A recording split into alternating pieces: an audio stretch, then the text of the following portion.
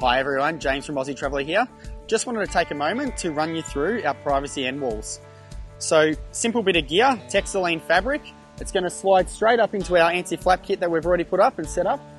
And we're going to peg it down. The main purpose of the privacy end wall is one, give you a little bit of privacy, but also to stop the wind from flowing through your caravan site and also to keep the sun off. So let's get to it. I'm going to show you quickly how quick and easy it is to set up.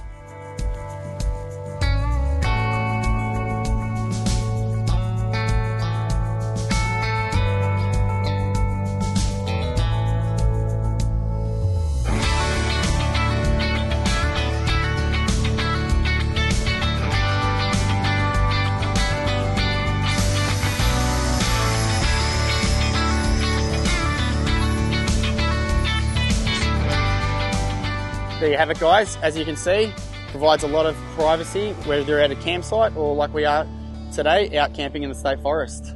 Nice simple product.